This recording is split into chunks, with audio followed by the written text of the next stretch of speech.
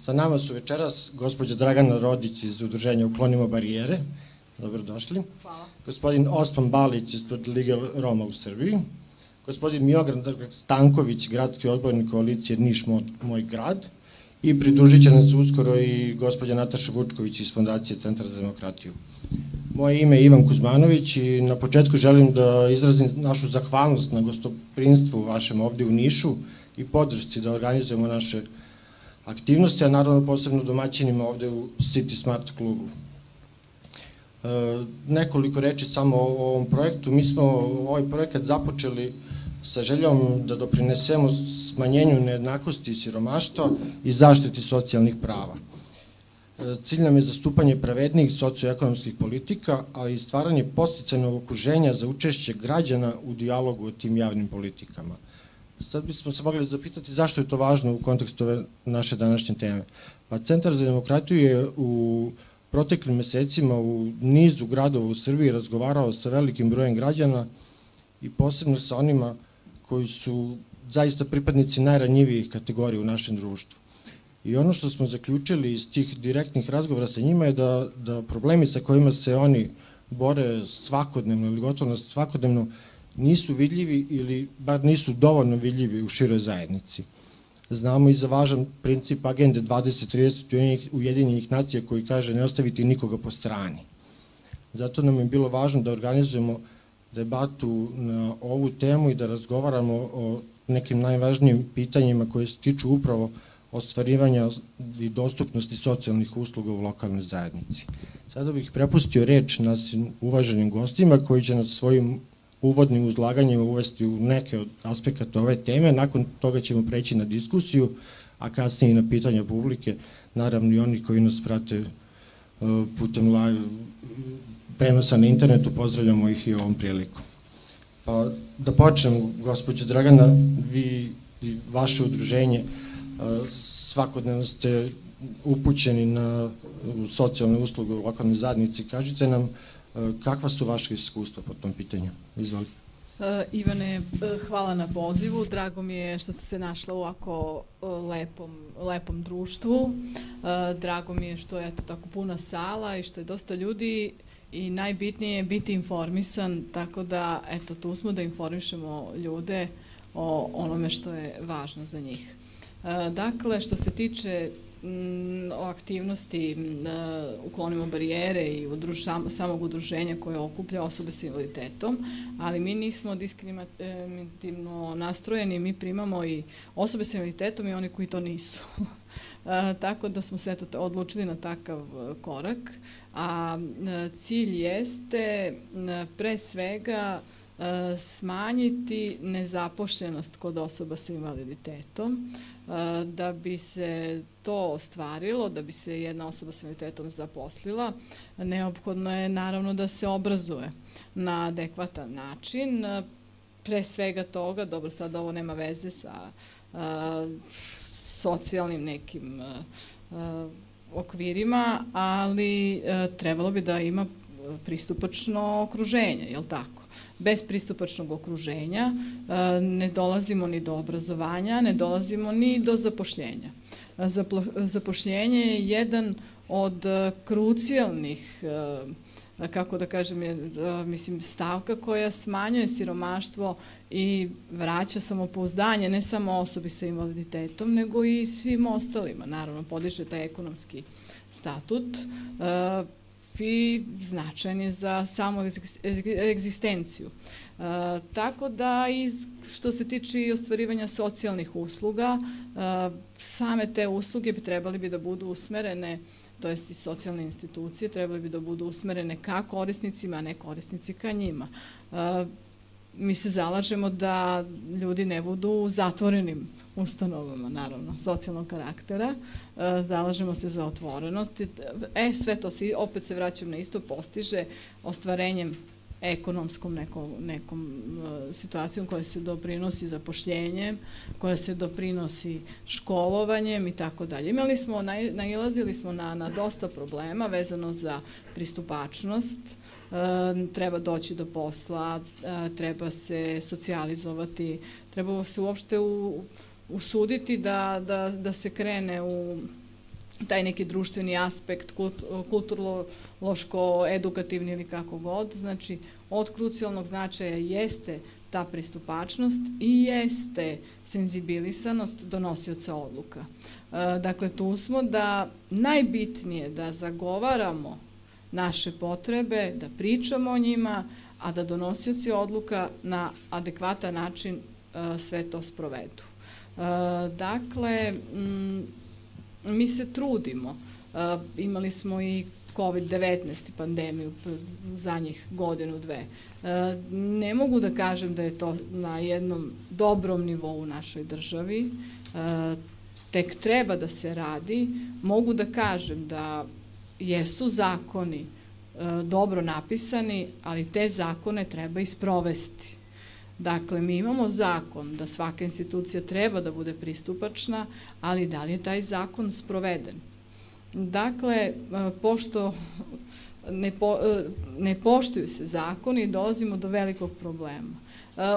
Trenutno nije tema inkluzija, naravno, ali samim tim, pošto sam predstavnik ranjive ili vulnerabilne kategorije u kojoj spadaju i osobe sa invaliditetom, uh, naglasila bi da uh, inkluzija mora biti dobro sprovedena da bi se dobro izvršilo i obrazovanja. A ovo mi je nekako bilo zbrda z dola, eto, moram tako da se izrazim. Moramo od početka krenuti da bi sve bilo kako treba. Dakle, moramo mnogo raditi i moramo sve preispitati, ovo sve do sada što je urađeno, to sve mora biti bolje. Eto, toliko od mene. Ako ima neko neka pitanja, ja sam spremna. Hvala vam. Da čujemo i ostale govornike sa svojim uvodnim rečima, pa ćemo onda naravno preći Hvala. na pitanje. Gospodine Osman, vi naravno svom radu i vaše udruženje borite se za prava romske zajednice. Kako stojimo tu kada su u pitanju socijalne usluge? Kakav je njihov obuhvat? Koliko su zaista dostupne? Izvalite. Uh, to vam je tako teško pitanje. Ja treba da uzmem mikrofon. Ili ja mogu da budem i glasan? Da bi se čuo u live Aha, dobro. Dakle, e, kada me e, tako pitate, E, pretpostavljam da ste uzeli u obzir da živimo u najsiromašnijoj evropskoj zemlji i da se radi o najsiromašnijoj socijalnoj grupi. I da li su zadovoljni? Pa nikad neće biti zadovoljni. Neće biti zadovoljni iz prostog razloga što što se vrlo malo ti najranjiviji pitaju kod usvajanja nekih odluka, nekih politika, nekih praksi. Dakle, vi ste pre desetak dana, 15.11. u našem gradu imali e, usvajanje nove strategije Centra za socijalni rad, ako su dobro napisali. I ta strategija, koja je strateški dokument, planski dokument, je donet bez velikog učešća javnosti. I šta mislite koliko su pitani Romi? Sticajem okolnosti, ja sam pre jedno 20 godina radio nešto u opštini, vodio tu socijalnu politiku, vodio ta socijalne karte i tako dalje. I tada je bilo prilično voluntarizma. Dakle, mogli ste da donosite politike, da usvajate politike, paušalno, carte blanche, iz voleja, kako se tebi čini, kako se nekoj grupi čini. Međutim, od tada do sada, mi imamo zakon o planskom sistemu. I taj zakon o planskom sistemu je jedna divna stvar koja omogućava, dakle, da demokratija zaista zaživi. Kako? Pa pitaju se građani te nevladine organizacije i tako dalje. Tako da e, imate i neke procedure tamo, imate i neke rokove. Vrlo ozbiljan zakon. Zakon o planskom sistemu. To smo mi imali i u socijalizmu i ko je kršio taj zakon, krivično je odgovarao. Dakle, vi, mi smo usvojili to pre desetak dana bez učešća javnosti. Ja sam, ja vodim tu jednu nevladinu organizaciju Ligu Roma, jedna velika organizacija i tu lokalnu jednu Jurom centar i e, socijalna politika i socijalna zaštita mi nisu strane teme. Uopšte nisam pitan. A inače, mogu da vam kažem da svake godine i te kako izdršno finansijski pomažem građane Niša. Dakle, to su vam milioni u pitanju i mogli su e, reda radi, a i pristojnosti radi, da nas pitaju za mišljenja, jer i te kako odgovorno pratimo tu politiku. Dakle, donošenje politike bez analize prethodne politike, to su takozvane analize uticaja prethodno donetih politika. Dakle, ne možete da donesete neku novu politiku ako niste analizirali prethodnu politiku iz prethodnog perioda, pa da na osnovu primetbi građana, a to znači demokratije, u bukvalnom smislu te reči, na osnovu njihovih primetbi, zahteva i potreba donesete novu politiku, koju ćete takođe za 3-4 godine da uradite studiju, analizu uticaja te politike na građane. Ako ne radite tako, kršite zakon i pri, u priličnoj meri ste diletanti i laik. Ozbiljni ljudi rade na osnovu podataka. I sada je vreme kada nevladine organizacije insistiraju na politikama koje, se, koje su zasnovane na dokazima. Dakle, ne možete više da mi kažete ima 50% siromašnih Roma. Morate to da dokažete. Da zaista ima 50% Roma. Morate da dokažete takođe da ste iz budžeta zaista potrošili, na primjer, milijardu dinara. I da to u budžetu bude, da odbornici to kontrolišu, da imaju izveštaj o tome. Dakle, politika, praktična politika, zasnovana na dokazima, ne na praznoj priči. To vrlo često praktikuju. Zapravo, to je manir i deo naše političke kulture. Politika na playback. I sada, kada, a to je kontekst, to je platforma na kome stoji i odgovor na pitanje da li su zadovoljni. Uopšte ne znamo. Jer mi imamo pojedinačne izjave i svedočenja ljudi. Ono što bi, na primer, sada ja mogu da izbacim kao, opet paušalno, kao socijalnu potrebu, pored onih socijalnih potreba koje su zakonom definisane, zakonom o socijalnoj zaštiti. To znači materijalna pomoć, ta jednokratna, i jednokratna pomoć i, i druge vrste pomoći koje se daju izvesnom i i tekako e, ovaj, e, koštaju i grad i budžet i tako dalje. Ja moram da kažem sad, mogu, ja, ja, ja naravno govoriću e, kritički zato što sam ja iz nevladinog sektora uopšte, nemam namere nikog da hvalim. I ono što je dobro, a ima puno dobro, puno dobrog tu, naročito u lokalnom centru za socijalni rad, gde rade profesionalci, gde imate jednog divnog direktora, zaista jednog posvećenog socijalnog radnika i više od socijalnog radnika, ali evo, evo mane. Dakle, doneli su e, tu odluku, e, Skupština grada, pretpostavljam da je usvojila, ili gradska vlada, ili gradsko veće koje je već to usvojio, da javnost nije upoznata. Znate, demokratija vam je učešće građana, a ja sam direktno zainteresovana stranka. To direktno, neposredno zainteresovana stranka ih obavezuje na poštovanje zakona o planskom sistemu, sa druge strane mene obavezuje da oborim tu odluku, jer nije bilo ra javne rasprave. Na osnovu čega su dimenzionisali i budžet i na osnovu čega su pre drugih potreba doneli i favorizovali jednu odluku da se radi o dodatnom izdvajanju za e, e, kuću e, za zlostavljanje žena, sigurna kuća i tako dalje. Dakle, nemam ništa protiv toga, ali možda je to pomodna stvar. Možda imate prećih stvari. Da biste videli, a rukovo, uspešno rukovodđenje, element rukovođenja, rukovođenja, znači e, prvo slovo u kulturi rukovođenja je umešnost da odredite prioritete. Na osnovu čega su određeni ti prioriteti? U trenutku kada imate jedno 4-5 hiljada nišlje koje nemaju struju, kada imate jedno naselje koje je evergreen tema, naravno Romi su krivi, nisu plaćali struju, ali imate jednu incidentnu situaciju, imate štrajkove, imate gladne i bose koji šetaju ulicama i viču, naročito deca, koje takođe zloupotrebljavaju neke druge nevladine organizacije, pa dajte nam struju, dajte nam struju. Imate jednu sumornu sliku socijalne politike, pa se stiče utisak da se da tu niko ne vodi računa o tome kako se to radi.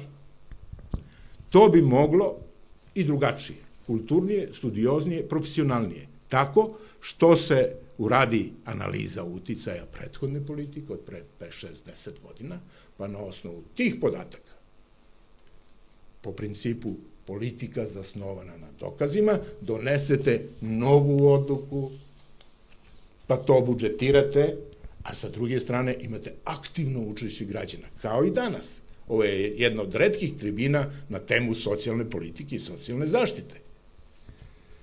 Nažalost, zakasnela, jedno desetak dana. 15.11. su usvojili to. I naravno, tu imate i budžet. Ako hoćete zapravo da vidite kakva je politika, pa i odgovor na pitanje kako je Romima, pa vidite koliko su izdvojili iz budžeta. Sve drugo je trik, vic i štos, što je zapravo manir političke kulture sadašnjice u Srbiji. Rukovodi se trikovima, štosevima. Neće. Umeđu vremenu su mnoge organizacije postale profesionalne organizacije, kredibilne organizacije, sertifikovane profesionalne organizacije i u tom smislu bi e, i javne debate i naročito mišljenja ovih kompetentnih organizacija u velikoj meri olakšalo donošenje novih odluka koje se najčešće i u najvećoj meri zasnivaju na suvom neznanju. Eto, i valjda sam vas isprovocirao za početak. Dakle, sve o ovom, o ovome što sam govorio imam dokaze.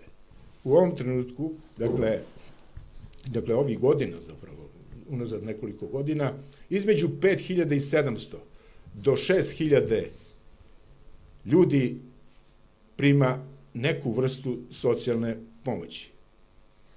I naravno imaju te famozne prekide od tri meseca. Kod Roma to bude vrlo bolno. Naravno, prvi sam, čak i tada, učinio praktične korake, da se radom izlazi iz siromaštva. Međutim, vi ne znate koliko je to teško. Pitanje prava na rad je takođe pitanje ove teme.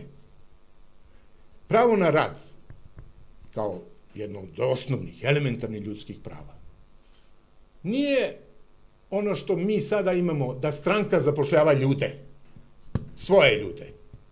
Pravo na rad, kao termin, kao pojam, podrazumeva da vi stvarate uslove da neko radi i bude ekonomski aktivan. Dakle, stvaranje uslova. Kako? Šta je dokaz da ne stvaraju uslove? Samo da vas podsjetim na sakupljača sekundarnih sirovina koji su vrlo često meta zlonamernih komentara godišnje oko 120 miliona eura naša zemlja izveze sekundarne sirovine. Izveze. Znate li koliki je porez na to koga sakupljači sekundarnih sirovina promptno, istog trenutka uplaćuju državni budžet? 30%. Znači 40 miliona eura. Logika budžeta je da onaj ko puni taj i dobija nešto. Pa ti sakupljači sekundarnih sirovina, makar su mogli do sada a ja najmanje deseta godina pričam o tome, vrlo intenzivno, čak i formirao Republički sindikat sakupljača sekundarnih sirovina. Dakle, mogli su da legalizuju te neformalne radnike koji su umeđu vremenu postali takođe legalni i legitimni u, u, u kodifikaciji Međunarodne organizacije rada, Mora i Ženeve. Dakle, sada i radnik u sivoj zoni ima ista radna prava kao i onaj koji je legalno zapošljen, naročito u zemljama u tranziciji gde imate sivu zonu rada negde u visini od 30-40%. Eto, to je taj fenomen prava na rad. Zašto ne legalizuju ili zašto nešto ne urade? Dakle, možemo da kritikujemo, Ali onda političara možete lepo da pitate da se on, on se ispriča i ove populiste, puštite ih da se izdemonstriraju tu mržnju i jedan latentni rasizam prema Romima sakupljačima, a onda ih pitate, a ima ih po deseta godina na funkciji, da šta si ti uradio da to tako ne bude? Onda naravno za neme. Sakupljanje sekundarnih sirovina je, samo da vas podsjetim, 2006. godine je, smo izvezli više sekundarnih sirovina nego kukuruza. 500.000 tona kukuruza smo te godine izvezli i 600.000 tona otpadnog materijala. To su sve te ručice sakupile. To što vidite po ulicama. 97% otpadnog materijala. U sve ove strategije zaštite životne sredine i ovu logoreju oko zaštite životne sredine. To su ti ljudi uradili. I ne čini se od države ono što treba. Dakle, da se učine napori, da se ta reciklažna mafija ukloni, ona postoji zato što se radi o eksploataciji radnika, o ekstra profitu. Ekstra profit vam je nečiji neisplaćen rad. U ovom slučaju to je neisplaćen rad tih Roma sakupljača. Naravno, oni imaju prava da se jave i da budu u ovoj cifri od 5700 do 6000 u Nišu. I tekako. To vam je socijalna pravda. I vrlo redko možete da čujete ovako ove otvorene napade, ali napade zasnovane na dokazima. Evo, dosta sam se isprovocirao. Hvala vam na tome i hvala vam što ste ovako rečito objasnili kako stvari treba da, da teče proces donošenja. Ja, donošenja javne politike i njenog praćenja i uticaja na društvo. Sa nama je i predstavnik građana u, u Skupštini grada koji možda najviše od nas, zna da nam kaže kako teku ti procesi donošenja odluka. Izvolite, Miodraž. Pa pre svega hvala na pozivu da budem učesnik jedne ovako važne debate koja se održava danas ovde kod nas u Nišu. Imamo i sjajne sagovornike koji su otvorili značajne teme i Dragana je govorila o osobama sa invaliditetom, o njihovim problemima, Osman je govorio o problemima Roma. Treba reći, dakle, da je čak oko 8%, a, oko 8% ljudi u, u našem gradu jesu osobe koje imaju određenu vrstu invaliditeta, a znamo da Niš ima blizu 300.000, nema još uvek toliko, nadam se da će se ova demografska slika uopšte popraviti što se tiče našeg grada, nažalost ona nam nije baš naklonjena, jer mnogo više umrlih nego rođenih i to jeste posebna tema. Isto tako ima i Roma, dakle negde oko 25.000 Roma živi u našem gradu, to je skoro 10% dakle, stanovništva. I potpuno je neverovatno da bilo koja lokalna vlast, nevezano da li u Nišu ili u čitavoj Srbiji, kada ima jednu takvu situaciju, ne poklanja dovoljno pažnje, na primjer, ili ne poklanja dovoljno pažnje ovaj, kada se radi o a, Romima i kada se radi o osobama sa invaliditetom. Zato mislim da je ova tema važna i dobro je da ste vi pokrenuli. Ja sam sve vreme, mislim, kao odbornik Skupštine grada, ovde sa mnom i Emilija Marjanović, odbornica, takođe moja koleginica, odbornica Skupštine grada, stalno podnosi određene inicijative koje se odnose upravo na ove socijalne grupe.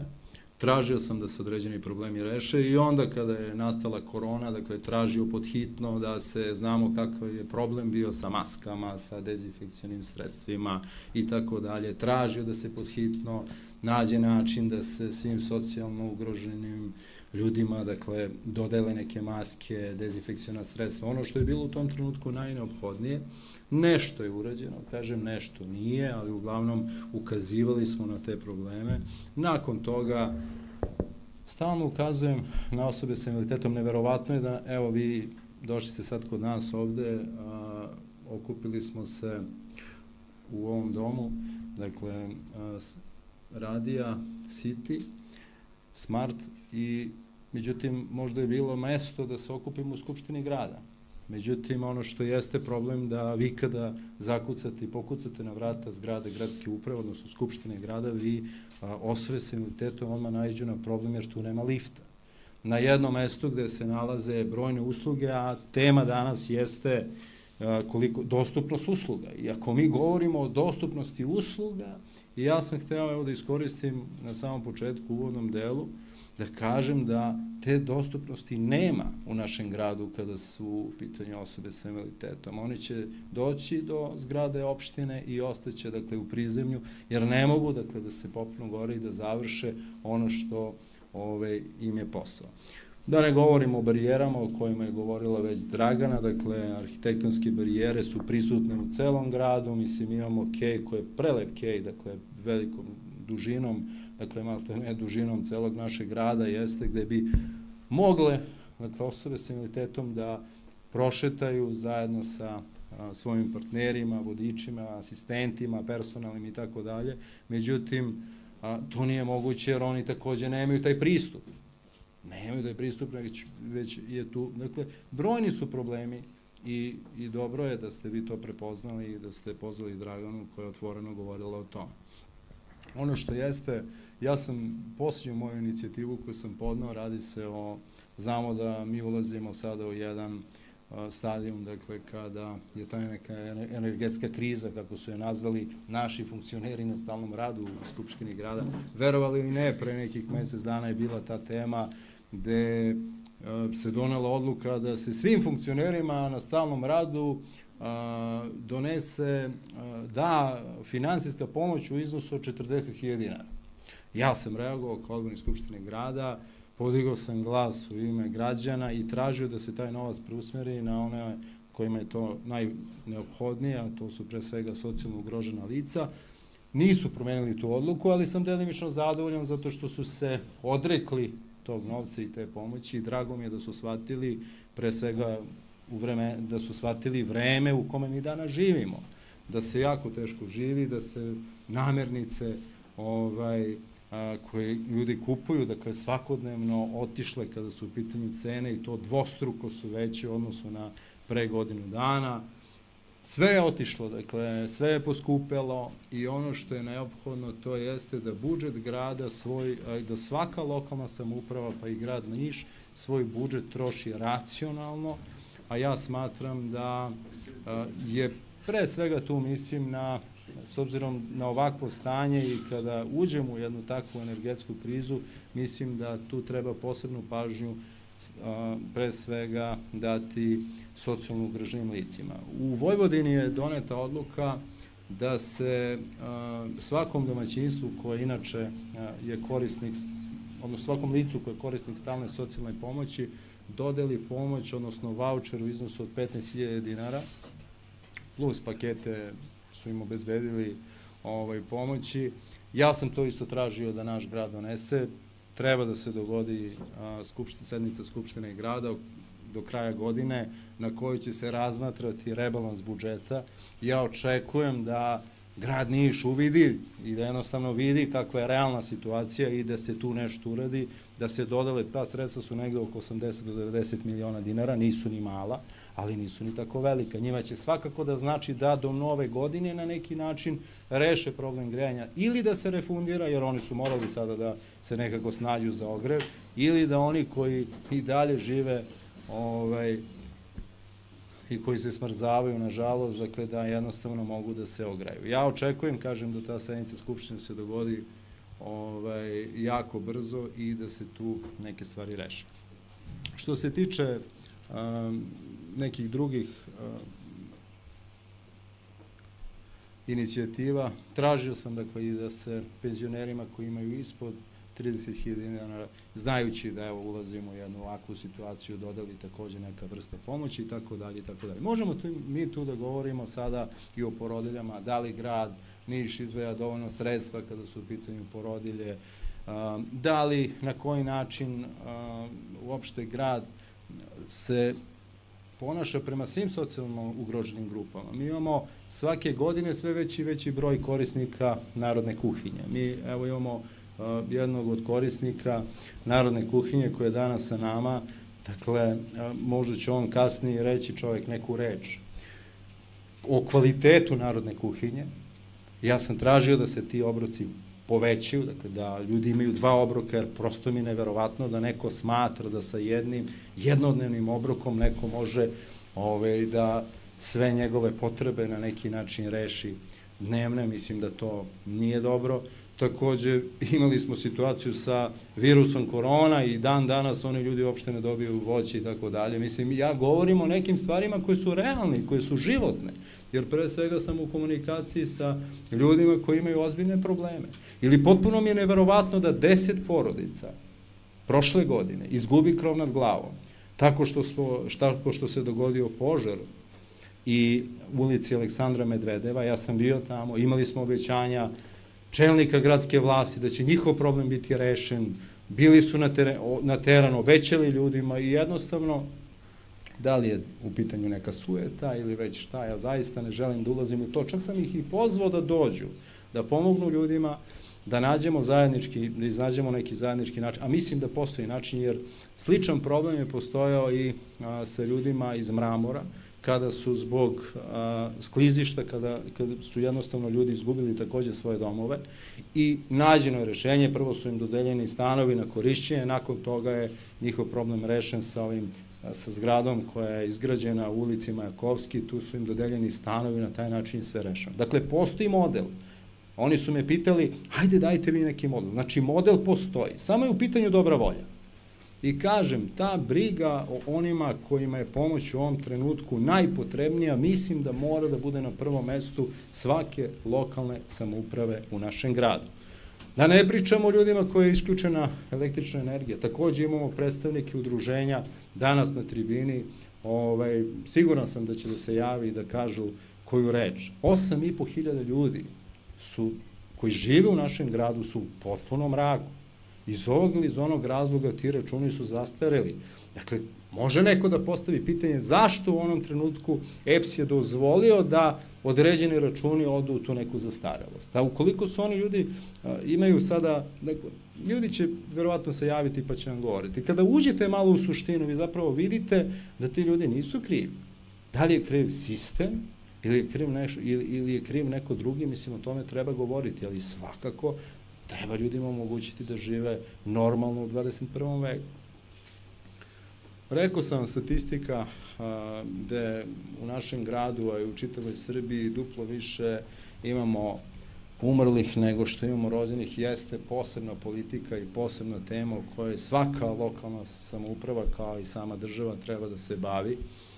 Mislim da nebrigom prema onima kojima je potrebna pomoć, naj, kojima je potrebna, najpotrebnija pomoć, mislim, samo će da nas udalji od onog što je svima nama zadatak, a to je da dođe neka godina gde ćemo da pročitamo da je rođeno više beba nego što imamo umrlih. I to je pre svega, treba da bude mislim da mi oko toga treba da imamo konsenzus, nebitno da li neko dolazi iz vlasti ili dolazi iz opozicije, jer svi jednostavno volimo ovaj grad i treba da težimo ka tome da u našem gradu se rađa sve više dece, a da bi se rađale sve više dece i da bi imali sve više mladih ljudi koji se osmelaju, koji, koji su rešeni da stupe u brak, mi na neki način treba da im pomognemo. Treba da šaljemo tu neku pozitivne, te neke vibracije, pozitivne stimulanse kako bi, kako bi se tako nešto dogodilo.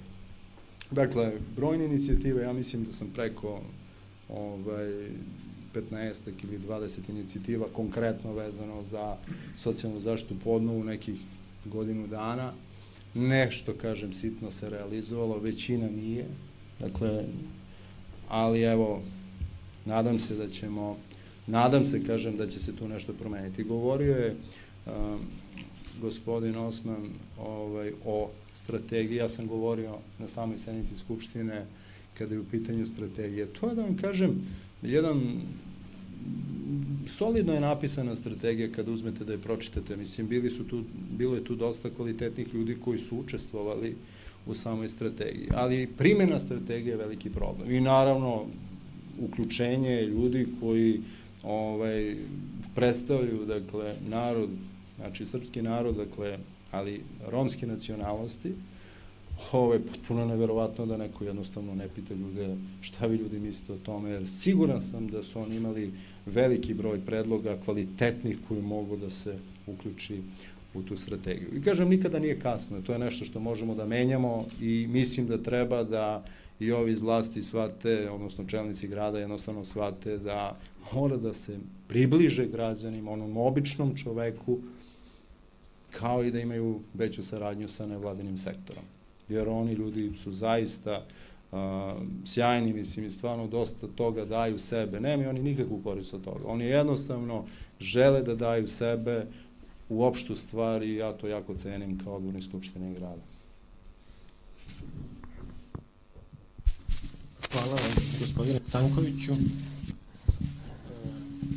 prilike da poželimo dobrodošlicu gospođe Nataše Vučković iz Fondacije Centar za demokratiju. Dobrodošli. vi govorite često o borbi protiv siromaštva i socijalne isključenosti, o strateškom okviru i njegovoj važnosti, strategijama koje nam nedostaju. Šta nam u tom smislu možete reći kada je u pitanju naša današnja tema dostupnosti socijalnih usluga? Izvolite. Hvala Ivane, izvinjavam se na kašnjenju. Razlog je bio jedan diplomatski sastanak u Beogradu, a potom koji treba da uzmem? Evo ovako ćemo ovaj da... A, dobro. Treba da uzmem i da pogledam. Da, da, da. Ovako, dobro. Dobroveče svima.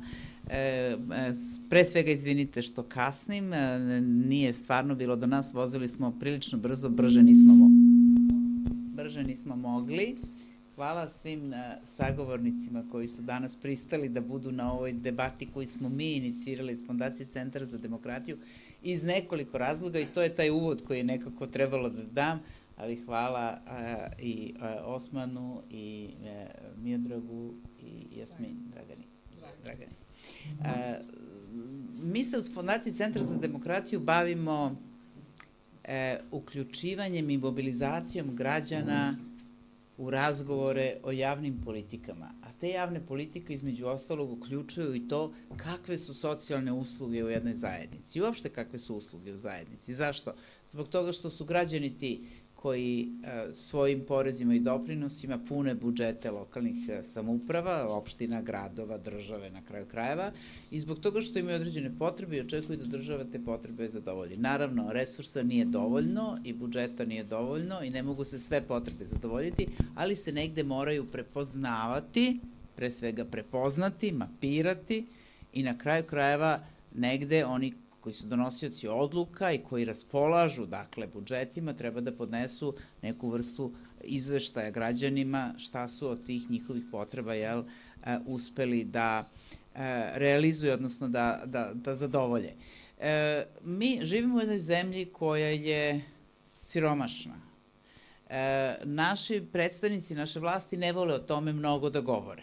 Uopšte o siromaštvu gotovo da ne govori niko ali kad pogledate da je 29,7% čini mi se da taj uvod drugu, tu decimalu možda ne izgovaram tačno, ali skoro 30% građana siromašno, odnosno u riziku od siromaštva. Pa kad izračunamo koliko je to, kad govorite u procentima, to onda nekako uvijek izgleda malo. Pa sad, ali kad preračunate koliko je to u nekom apsolutnom broju, to je ogroman broj. Šta to znači? To su ljudi koji su uvek na ivici siromaštva, a iako su neposredno iznad te granice siromaštva, oni su zapravo stalno ugroženi i njihova pozicija je stalno nestabilna i ta granica rizika od siromaštva je jedna stalna nestabilnost. Pa se pokazuje da ukoliko ste mladi bračni par koji je dobio jedno dete i oboje imate posla, posao, vi ćete biti iznad granice e, siromaštva. Ali, čim možda dobijete drugo dete, vi ćete pasti tu stepenicu niže zato što će vam biti potrebno više sredstava, zato što će vam biti potrebno novo, pre, no, još jedan vrtić zbog toga što će škola, e, kad dođe do škole, koštati duple e, školske knjige i tako dalje. Dakle, to su sve neke životne situacije. Mi smo nedavno prokostarili, sad tokom oktobra i novembra meseca, prokostarili Srbiju u okviru jednog drugog projekta e, na kojem radimo, E, gde nam je bio zadatak da razgovaramo sa predstavnicima osetljivih grupa. Razgovarali smo sa korisnicima socijalne pomoći, sa samohranim majkama, sa uh, predstavnicima manjinskih uh, dakle, grupa, Romima i drugima i sa porodicama sa decom koje su ugrožene. E, preslušavali smo, dakle, naravno mi smo te razgovore u skladu sa našim dogovorima snimali i preslušavali smo te snimke razgovora sa njima sa dubokom tugom, shvatajući koliko vrlo često mi u stvari ne znamo kako se negde u Srbiji, u centru naših gradova, Niša, Leskovca, Užica, Knjaževca, Zaječara odvija neki život. To su ti ljudi to je tih 30%. E sad kad govorimo o uslugama socijalne zaštite, mi uvek naravno, kao što sam već rekla i to je poznata stvar u jednoj zajednici, resursa nikad nema dovoljno i oni na neki način moraju da se dele i o tome odlučuje politika kroz budžete, kroz programe, kroz strategije i tako dalje. Međutim, za sve te, naravno, politike socijalne zaštite postoje naravno neki kriterijumi, pa se kaže ostvarit ćeš tu i tu pomoć, ostvarit ćeš tu i tu uslugu ukoliko ovaj, ispuniš uh, određene kriterijume. I nama je recimo zapalo, uh, palo nam je, ovaj, uh, obratili smo pažnju na to, nedavno se pripremala jedna uredba o pomoći države za energetski ugroženog kupca što je sada vrlo važno s obzirom jel, da su poskupeli energenti, poskupela su drva, ne znam u kolikom procentu, e, pele takođe, sve je jel, poskupeći struja. I sad mnogi koji su inače bili ugroženi postaju još ugroženi zbog toga što to neće moći da plate, a naravno kad nemate ograf, kad nemate grejanje, onda mnoge druge stvari dolaze e, u opasnost i zdravlje i dece i, i, i starijih i mogućnost E, postizanja uspeha u školi dece koja žive u hladnim stanovima i tako dalje, da sad ne govorimo dalje. I sad, jedna od kriterijuma, u, kriterijuma u toj uredbi bilo je, na primjer, da možete da ostvarite pravo, a da, predstavnik države se bio pohvalio da će u ovoj godini biti povećan broj e, ljudi koji će dobiti pomoć na osnovu energetski ugroženog kupca, tako što će se sa, predvi, sa prošlogodišnjih 70.000 povećati broj onih koji će uživati podršku na čitavih 200.000 dakle, ljudi. Što je velika, veliko povećanje. Međutim, kad pogledate kriterijume, nama je zapalo za oko jedan kriterijum koji kaže mora da se podnese dokaz da dete starije od 15 godina je u redovnom školovanju. To je na izgled, kad pročitate, deluje vrlo opravdano. Ali onda morate da se pitate A čija to deca koja imaju 15 godina nisu u redovnom školovanju? Gde su ta deca? I ko onda može da ispuni taj uslov? A onda odete dalje u jednu analizu. To povlači siromaštvo na obrazovanje. Pa naravno. A onda odete dalje u sledeću analizu, jel, možemo da kažemo sad, da pretpostavimo ko sve nema e, e, e, mogućnosti, ali da li znate da postoji negde oko 40 opština u Srbiji, 30 ili 40, ne mogu sada da se tačno, ali nije velika razlika, koji recimo nemaju javni transport, odnosno nemaju mogućnost da se deca prevezu do neke škole, a da nemaju, a, a, a koliko opština i gradova, odnosno opština pre svega, nemaju srednje škole u koje bi deca mogla da idu, znači moraju da imaju prevoz do neke najbliže srednje škole. Evo recimo, razmatrali smo pitanje kad dete iz Merošine koji ima 15 godina treba da stigne do Niša, koliko mu treba mesečno, nosca mesečno za prevoz. Treba mu 9000 dinara. A to je otprilike iznos, skoro isti, 10.000, koji je iznos materijalne pomoći, novčane pomoći koja se doja, novčane socijalne pomoći koju dobija onaj ko je socijalno ugrožen. I onda kad pogledate kako se ta jedna pomoć, znači za energetski ugroženog kupca raspodeljuje, onda kažete čekajte, ovo možda nije pravilno. Ko je sve video tu i nacrt uredbe? Da li su se građani pitali? Da li je to bilo na nekoj javnoj raspravi? Da li su sva ministarstva naročito ona koja su nadležna za pitanje socijalne pomoći, razmotrilo tu uredbu ili nisu? Da li, su sa, da li je, ako je to Ministarstvo energetike, e, priprema tu uredbu, da li je Ministarstvo socijalne da radi socijalnu zaštitu i zapošljavanje učestvovalo u analizi e, takvog nacrta e, i tako dalje. Dakle, postavlja se pitanje na koji način se kreiraju, ne samo strategije, strategije su neki vrhovni, da tako kažem, krovni dokumenti za kojih slede, koji se prave na pet godina i tako dalje, koji će biti neki ciljevi, šta ćemo mi postići za pet godina, to je u redu, to je potrebno. Onda iz toga kreću ti akcioni planovi koji idu na godinu, dve dana, a iz toga idu zakoni, naravno, idu zakoni, idu ovaj, e, e, odluke vlade i na kraju krajeva odluke lokalne samouprave. I zato je strašno važno kad mi govorimo i o uslugama socijalne zaštite prvo, da razgovaramo na nivou lokalne zajednice o tome koje su potrebe. E sad, koje su potrebe. Sad ću jedan drugi primer da vam dam. Govorila sam sad o energetski ugroženom ku, ovaj, kupcu, a sad ću da vam govorim o samohranim majkama. Mi smo sada, obilazeći Srbiju, ovo što sam vam rekla, obišli 12 gradova, razgovarali sa e, grupama od po 15-ak, e, imali smo fokus grupe, to se otprilike 10-15 ljudi okupi, e, konkretno žena, samohranih majki. Izvinite, prekinut ću vas tu. E, nigde nije sagledano majke sa invaliditetom koje su se ostvarile kao majke. Da, mi smo, nismo, i oni su učestvovali, i oni su učestvovali u našim, u našim fokus grupama, naročito isto i sa, da, sa, sa, Sa kategorizacijom invalidnosti. jeste, učestvovali smo, jeste, ali nisu nije bili posebna, posebno osetljiva grupa koju smo istraživali. A, da, ali smo radili sa samohranim majkama. Šta se sad dešava? Ko stiče pravo na socijalne usluge ako je samohrana majka, a ugrožena ekonomski? Mora da ima prihod manji od 10.000. Znači, ako ima 12.000, nema, nema nikakav, nikakav... Kakva je to, hoću da vam kažem, ja znam isto i sad možemo mi reći nema sredstava dovoljno, ali mi moramo ta sredstva koje imamo zaista da pažljivo, pažljivo targetiramo.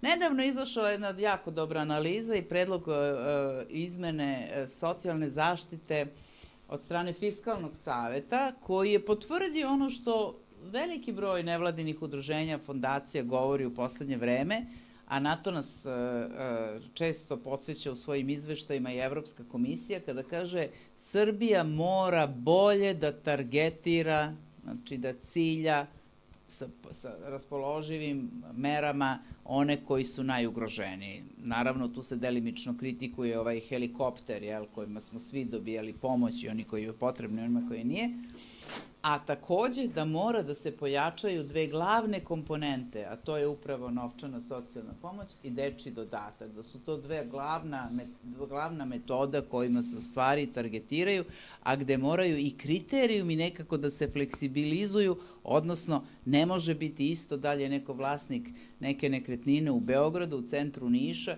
ili u nekom a, a, a, selu kod Ljubovije i tako dalje, jer ovo je na tržištu, ovo je likvidno, ono tamo nije. Prema tome ne može na isti način da se, da se tretira i tako dalje. Ja sad govorim o, o, o tome e, š, na koji način sve moramo da pristupimo u e, sagledavanju onoga što e, je građanima i građankama i deci pre svega potrebno i kako mi kao građani možemo sad na to da utičemo. Mislim da je vrlo važno ovo o čemu je govorio Miodrag u poslednjem delu koji sam čula, a to je da moraju građani da budu aktivniji, dakle po, idem sada na, na neku mobilizaciju i, i, i pozivanje na građanski aktivizam u tome da pokušaju čak i kad oni nisu ti kojima su te potrebe, koji imaju te potrebe, ali da, da učine da glas onih koji takve potrebe imaju bude jači i snažniji u zajednici. Dakle, da omogućimo njima da budu predstavljeni, da se njihov glas čuje, da njihove potrebe negde e, e, um, e, prikažemo donosiocima odluka i da kažemo ove mere nisu dobre, dajte malo nešto drugačije uradite. Kako bismo uspeli a, da ih negde zaista zaštitimo? Ovo govorim u svetlu a, a, jedne druge strategije, a to je strategija Ujedinjenih nacija Agenda 2030, za koju ste možda čuli. Fondacija Centar za demokratiju i na njoj jako puno radi, promoviše je i izveštava o njenoj primjeni u Srbiji sa jednom grupom drugih nevladinih udruženja i instituta. Jel, to je jedna strategija koja ima za cilj da se do 2030. godine napreduje u ekonomskom i socijalnom i e, ekološkom održivom razvoju. I jedan od prvih ciljeva, ne jedan, nego prvi cilj, dakle, održivog razvoja je iskoreniti siromaštvo do 2030. godine. Zvuči jako ambiciozno, imajući u vidu da smo već 2023. Ali to što kažemo da je ambiciono ne sprečava nas da na tome radimo. Znači, nije cilj smanjivanja siromaštva, nego iskorenjivanje siromaštva. Znači, drugačije je postavljen cilj nego u nekim ranijim strategijama. Znači, mnogo ambicioznije i mnogo a, direktnije. A druga, drugi a, a, cilj održivog razvoja je da kreiramo svet bez gladi.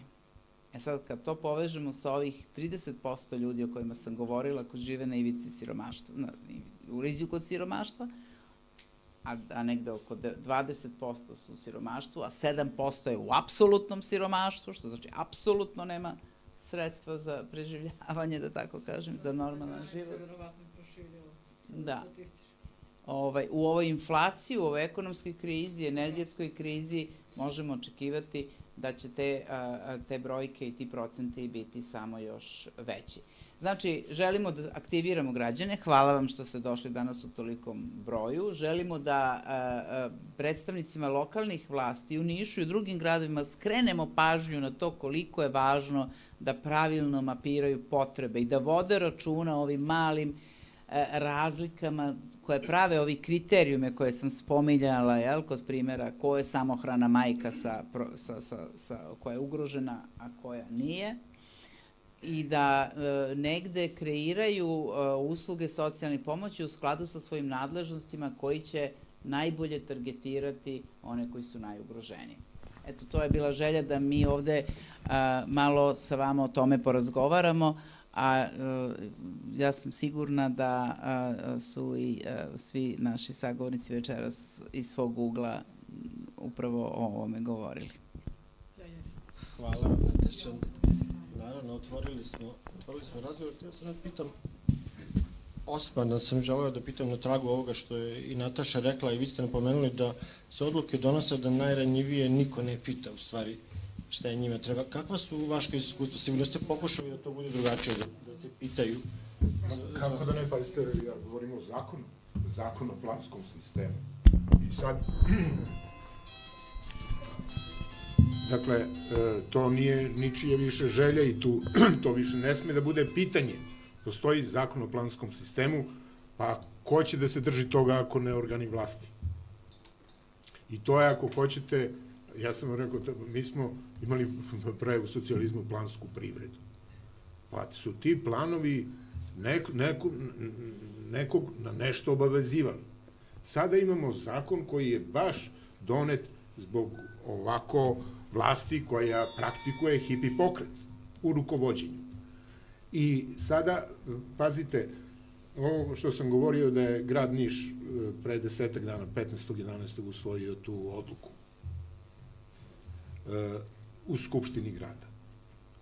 Opet je nelegitimno, jer se e, javna rasprava ne može čak ni ovako ofrlje da sprovede, kao što mi sprovodimo to, sazovu javnu raspravu, tri dana pre toga pozovu ljude ili ne, ne daju materijale, ne daju podatke, pa ajde da raspravimo. Čemu, čemu da raspravljamo?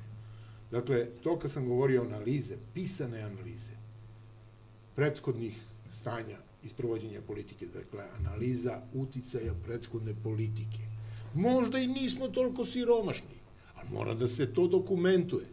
Znate, svi ozbiljni poslovni sistemi, poslovni procesi, se završavaju na nekom dokumentu. Sve ono što nije dokumentovano, ne, nemate o čemu da razgovarate. To na playback, na trik. Jer sve ostalo je trik i štos. Jer to ulazi u arhive, pa se to čuva, pa možemo sada da, sada da pokrenemo, iako odluka nije loša ova Centra za socijalni rad, ali je nelegitimna, jer nema, e, nema e, minimalnu dozu demokratičnosti. Dakle, iako su pozivali na javnu raspravu,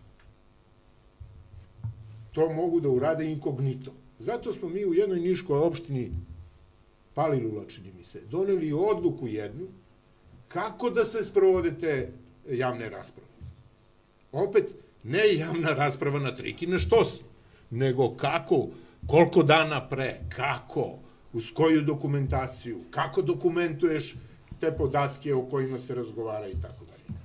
Dakle, taj zakon o planskom sistemu nije skoro donet, on postoji 2017, 18. ne znam koje godine, ali ima, ima dosta godina kako je on na snazi. I mi nismo baš toliko mlado društvo i mlada demokratija da se prelazi preko toga. Nego neko ima, praktikuje taj manir da zaobilazi građane. I kad zaobiđeš građane, pa onda ne možeš da imaš demokratiju. Onda imaš nežno na playback. Na, opet, na triki, na štos. Neće to tako. I vrlo su redke ovakve, rasprave ovakvog tipa.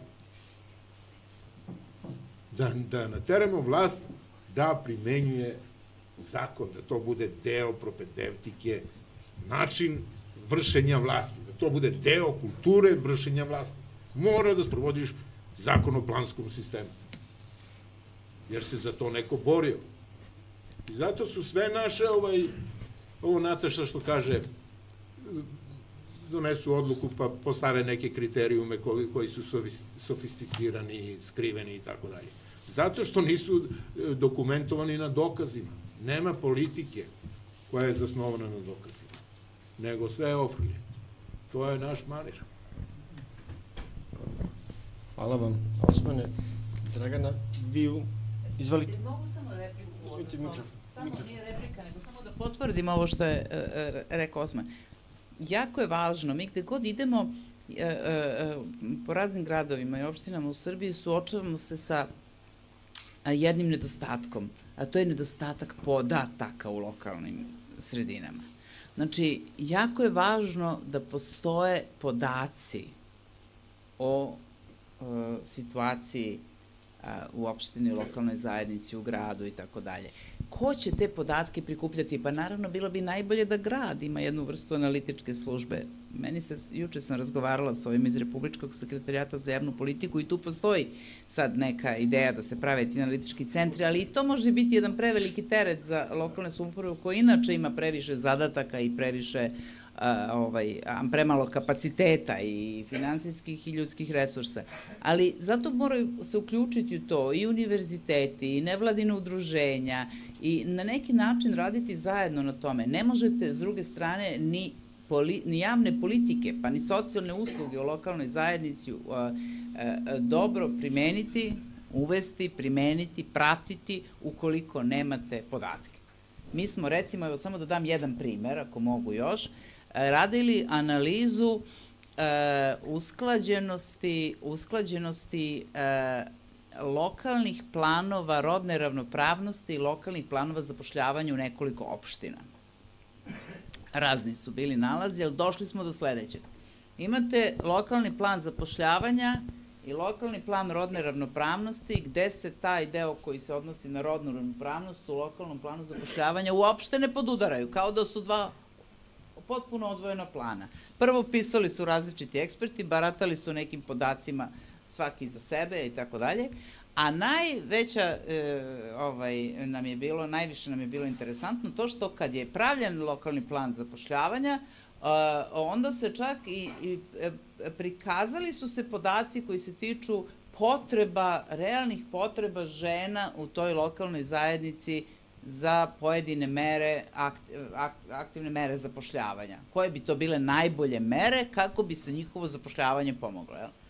E, a onda je u stvari e, jedina mera aktivnog zapošljavanja koja je primenjena nije bila ni jedna koja je u tom lokalnom planu zapošljavanja bila navedena kao potrebna, nego ona koju je u stvari Ministarstvo za, državnu, državnu upravu i e, lokalnu samoupravu zapravo dalo pare za.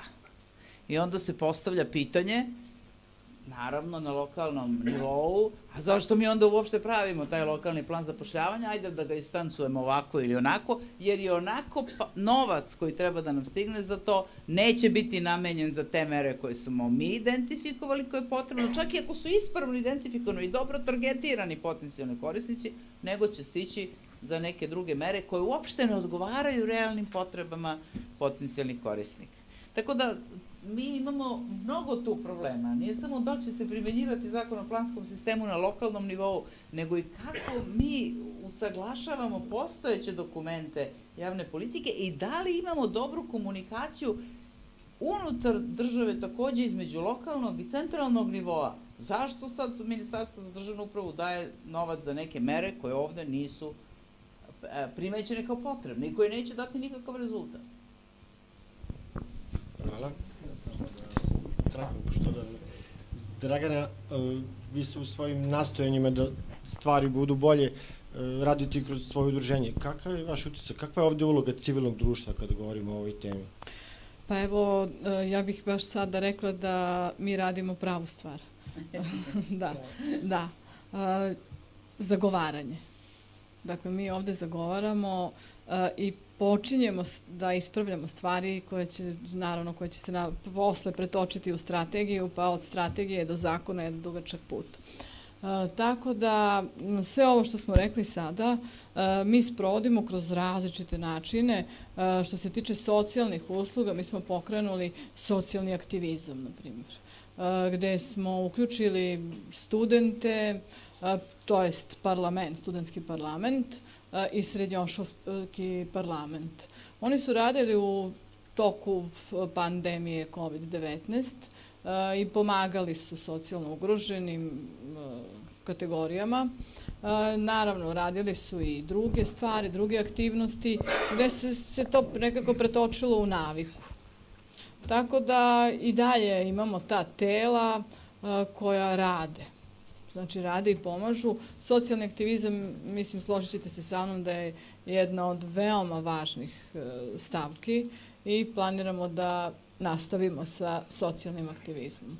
E, što se druži, e, tiče drugih aktivnosti, pitali ste me šta radimo da doprinesemo. Dakle, informisanost. Ja sam, eto, alumnista Američke ambasade i uz pomoć Američke ambasade otvorili smo portal Uklonimo barijere, gde se trudimo da informišemo ljude sa invaliditetom i one koji to nisu, da napravimo neku koheziju između, naravno, svih. E, tako da, eto, to je informisanost, taj socijalni aktivizam, e, školovanje, e, obrazovanje, pristupačnost, zapošljenje kao osnova iskorenjivanja siromaštva, socijalne usluge nisu tu da bi se neko bogatio, socijalne usluge su tu da se zakonski primene i da se odrede različiti indikatori, njihove visine i tako dalje, gde to je već neka druga tema, ali svakako trudimo se da idemo u nekim, e, da ostvarimo neke ciljeve koje bi doprinosili, a isto tako je važno, kao što je e, gospođa Nataša pomenula, e, da se odradi taj ovaj spisak ili ne mogu sad da se setim, statistika već kako već, podaci o osobama sa invaliditetom. Znači, postoje različiti elementi koji bi mogli da se primene tipa da se od rođenja prati to ili s osnovne škole, gde bi trebali da se uključe univerziteti, gde bi trebali da se uključe ne znam, drugi neki, druge neke institucije, tako da podaci su nešto što ne posjedujemo i trebali bi da se trudimo da radimo na tome. Hvala. Hvala, Miodraž, izvolite. Ja sam samo hteo da se nadovežem na nešto što, o čemu je govorila Nataša, a, o zakonu, ovaj, ali imamo i zakon o, o socijalnoj karti, gde je Skupština Srbije usvojila 11. februara 2021. godine. Trebalo je da krene da se primenjuje od marta meseca, međutim, e, tu je ta vertikala o kojoj upravo govori i o kojoj je govorila Nataša, gde nešto država donosi, a lokalna samuprava treba na neki način to da isprati. Međutim, evo mi još uvek nemamo, uh, u Nišu nema socijalne karte. Mislim, prošlo je... To je baš dobro, zato što tamo gde imaju, tamo se smanjuje broj korisnika e. socijalne pomoći. To je, po e, kriterijumima i socijalne karte. Pa da, ali... Možda nemojte žuriti. Ali, kažem, uh, pokušaj da se... E, evo sad ću da kažem nešto vezano za to. Tu nam je i Dejan Veličković, inače on je predsjednik udruženja boraca, jednog od najorganizovanijeg ovaj, predsednik jednog od najorganizovanijeg udruženja i mi smo imali tu neke inicijative koje smo zajedno radili.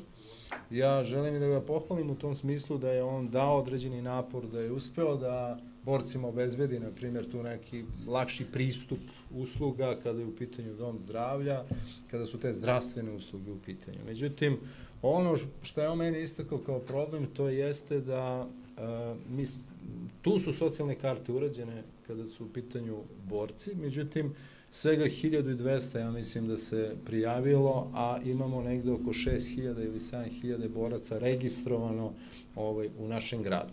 Tako da, e sad, zašto drugi neće da dođu i da se jave? Zato što, eto, to je sad ono čemu Nataša govori, da e, postoji tu problem. Donese se neka odluka, onda ta odluka koja se primeni ne, ne bude dovoljno adekvatna za one najranjivije kategorije. Jer ono što, što mi je baš Dejan sugerisao, kaže, kakve veze ima neko da li radi ili ne, on je isto išao u rat kao i onaj koji nije zaposlen. Dakle, ukoliko postoje neke olakšice, tu mora da postoji dakle, klauzula da svi borci imaju određeni vid olakšica. A naravno da treba uzeti u obzir novac koliko, ko, da li je neko zaposlen ili je korisnik socijalne pomoći. Oni koji su korisnici socijalne pomoći, oni treba da imaju veće olakšice, oni su koji, za, koji su zaposleni manje, ali svakako treba da imaju određene olakšice. Izvini, Vidite? tu ću da te, evo, podržat ću naše saborce osobe sa invaliditetom koji su ratni vojni invalidi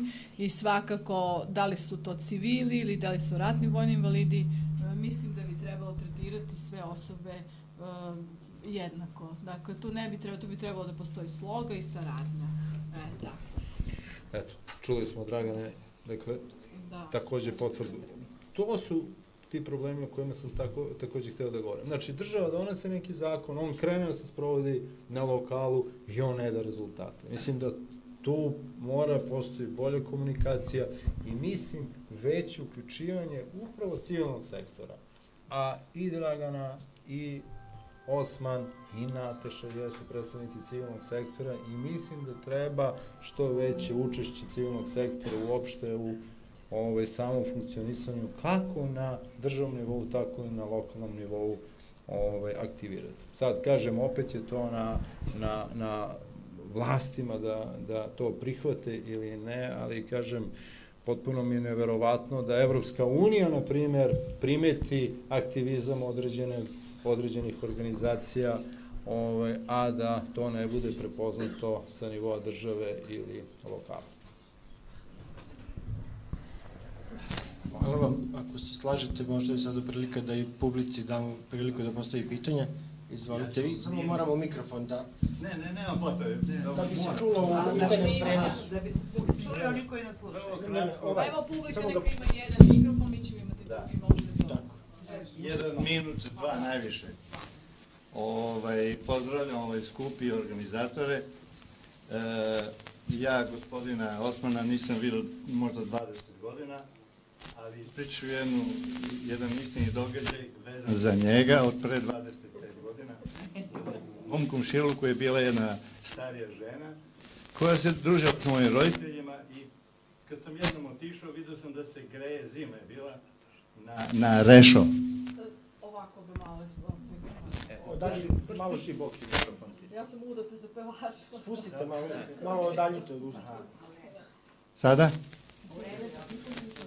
Grejala se na rešo i ja sam otišao u opštinu, to je kod Medijane bilo, rekao sam mi da se javim tu i tu kancelariju, vi ste bili, tada sam vas upoznao, ispričao sam vam tu kratku priču, vi ste me pogledali i na reč ste rekli dobit će 3 metra drva, koliko se sećam. I dobila je za otprilike nedelju dana. Hvala vam. Ona da je živa... Mi smo bili ozbiljna vlast. Da, da je živa... Bila, imala bi 100 godina, verovatno, ne znam gde je. Živela je sama od socijalne pomoći, tako da se to pamti. Evo, to vam pričam posle 25 godina.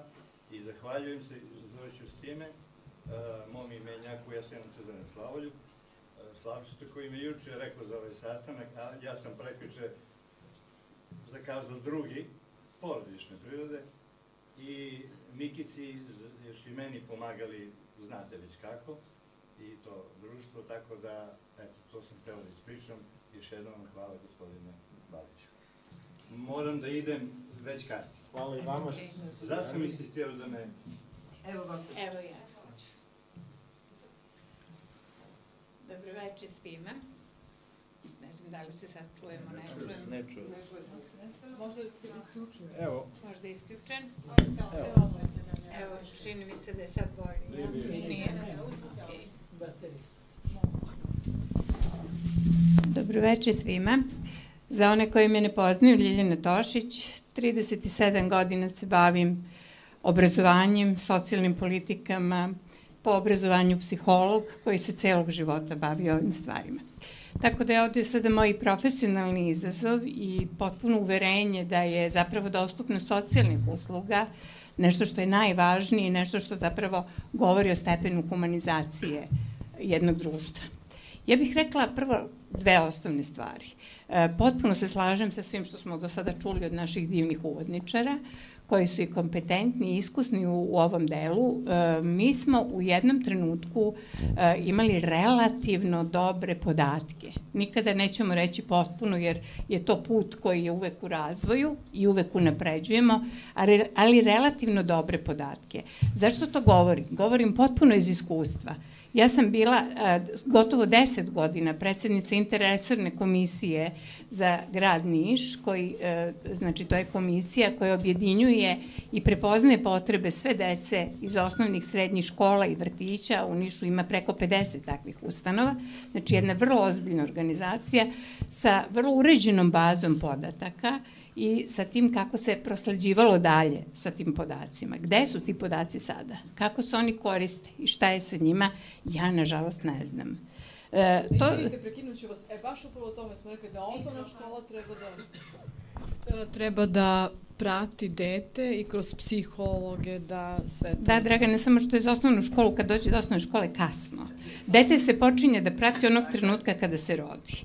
Znači, sada su, sada su zaista i službe razvijene u tom smislu da postoji i razvojna savjetovališta i različite druge ustanove i postoje podaci.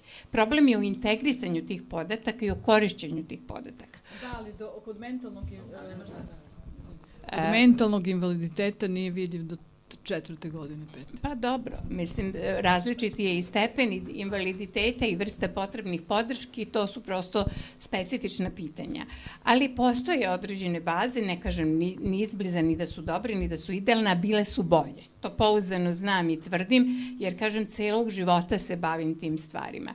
E, gospodin Osman je govorio o tome da se svaka odgovorna strategija i politika bazira na podacima koji su nekada bili dostupni. Kod nas je sve ono kako se promeni vlast, sve počinje s početka. Mi živimo ciklično, sada već evo deseta godina, nažalost, u ovom ciklusu ovakvom, ali uvek je ciklično i uvek sve iznova kreće, što je potpuno zapravo neadekvatno, zato smo i tako neracionalni. Uh, Ja bih rekla nekoliko stvari vezano i za, ovo, za ova planiranja. Niš je 2010. među prvim gradovima u Srbiji napravio lokalni akcijni plan za decu i omladinu. Ja sam lično učestvovala u tome. Znam tačno 52 predviđene usluge za decu i omladinu koje smo mi 2010. godine bazirali. Upravo na taj način što smo objedinjeni nevladin sektor, e, državu, e, organe vlasti od ministarstva do lokalnih, znači stručnjake, eksperte, sve oni koji mogu da doprinesu, e, ja koliko znam, do 2012. i 13. godine jedan dobar deo tih mera je sproveden, nažalost nedovoljno zbog uvek nedovoljno ovaj, sredstava koje su potrebna, ali onda je sve stalo. Možda sam ja neobaveštena, volila bih da me neko dopuni, ali koliko ja znam, sada takav akcijni plan u našem gradu ne postoji. Od konkretne ove dostupnosti socijalnih usluga u lokalnoj zajednici, ajmo konkretno, za decu, pa nemamo dovoljno vrtića, Pa nemamo za osobe s invaliditetom i decu s invaliditetom recimo uslugu koja je tako stara, već 20 godina u svetu postoji, zove se predah roditeljstvo. Ja bih volila da je neko ovde iz specializovanih ustanova da malo priča o tome kako je roditeljima koji odgajaju decu koja su sa invaliditetom i kojima prosto treba da negde odu kod frizera, da odu u kupovinu, da, da se odmore. Nemamo usluge za stare. Naši domovi za stare su nedostupni. Da ne govorim o fazi kada ljudi dođu u terminalnu fazu bolesti i kada ako nema porodica ogromna sredstva da plati privatni dom, ti ljudi su prepušteni maltene na milost i nemilost, jer postoji jedna gerijatrijska ustanova i jedan državni dom koji ima kapacitet 296 mesta. Da ne govorimo o tome, vidite sami da svakodnevno slušamo o nasilju u školama, to je samo posledica svega što se dešava, jer socijalna prizma socijalnih usluga je zapravo prizma i usluga obrazovanja i zdravstvenih usluga i apsolutno su potrebni centri koji bi okupili veli, stručnjake iz tih oblasti, znači psihologe, pedagoge, socijalne radnike koji bi pružali uh, usluge u zaštiti mentalnog zdravlja dece i mladih, jer podatak koji ću vam sada reći će vas verovatno zaprepastiti, zvaničan je, uh, zasnovan je na najnovim istraživanju sprovedenom u Beogradu, a to je da je 800.000 građana na nivou Republike Srbije u stanju potrebe, odnosno ugroženog mentalnog zdravlja.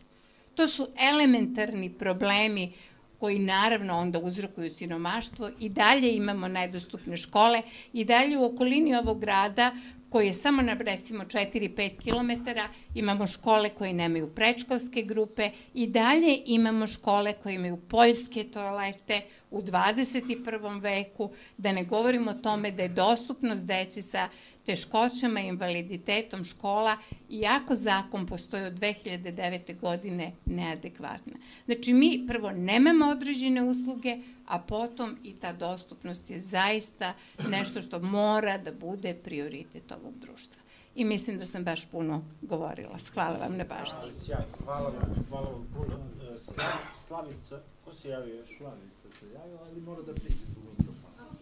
Prići ćete zbog mikrofona. Može taj? Da. Može. Može. Evo, da će... Evo, može.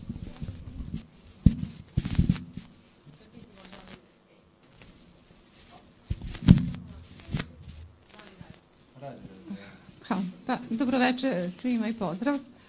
I moram opet ovaj, da pitam, kao i prošlo, na prošloj tribini, gde su ovaj naši mediji? Znači, da li ovo neko našu tribinu čuje i vidi i koliko uopšte ovakve tribine imaju efekta za one koji odlučuju o ovome? Mislim, meni se čini da su oni malo autistični, da njima treba malo više, što bi se reklo, došapnuti ili otvoriti i oči i uši.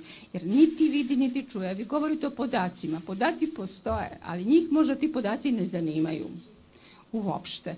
Mislim, njih zanima nešto drugo što ide u prilog onoj njihovoj teoriji, filozofiji koju mi stalno slušamo. Evo, ajde da počnemo na ovo dostupno socijalnih usluga u lokalnoj zajednici.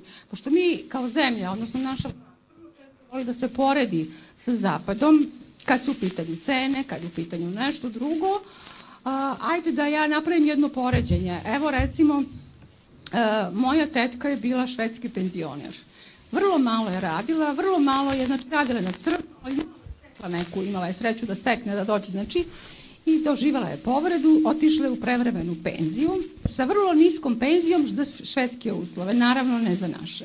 I ona je odlazila jedan put, dva put godišnje do Švedske kad ju trebala da papire na kontrole i kaže kad god odem, mene zovu iz Centra za socijalni rad, socijalne službe, znači nju zovu, ona ne ide nigde i ne obilazi ničija vrata. I kažu, kako vi živite, znači oni imaju tačnu evidenciju koliko ona kako vi živite, prava, što imate prava na Mikrofon samo Aha. ga pa, pa zbog toga.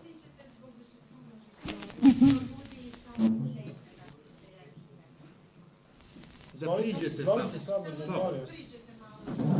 Priđite samo. Ne može više. Pa ja ne, čujem kako je tamo. Ne mogu